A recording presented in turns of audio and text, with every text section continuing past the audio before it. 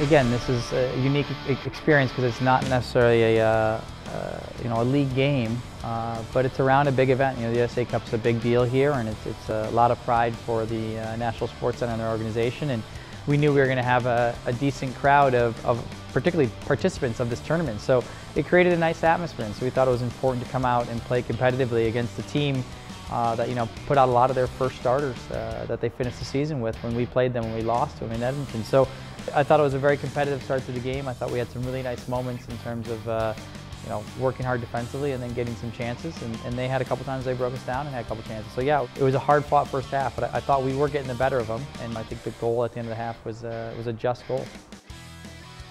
We, we kind of had planned out to give certain guys minutes just because it is a preseason game and there are certain guys, you know, uh, that we wanted to make sure we were managed, kind of like Connor Tobin with coming back from his injuries. And there were some offensive areas too where we wanted to make sure the guys, uh, you know, were being managed because we're building up for August 3rd. That's the most important thing. I just was happy for Simone too. It was one of those unique situations where he came in and provided a huge spark. Like you said, it's similar to what Eddie Johnson did to the U.S. national team. You know, it's it's nice for him, and I think it was nice for the team because we were playing well, uh, and to get a second goal kind of really uh, put us in the driver's seat. He did a nice job of running in behind, and I, I think you got to give Travis Wall a lot of credit. You know, he's a smaller guy, and he went up against two big guys, and he won the head battle.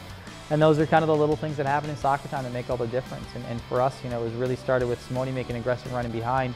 You know, I, I, thought the finish was really nice and clever by Simone as well. The goalie kind of came out and got in an awkward position, and you know, Simone put it over his head.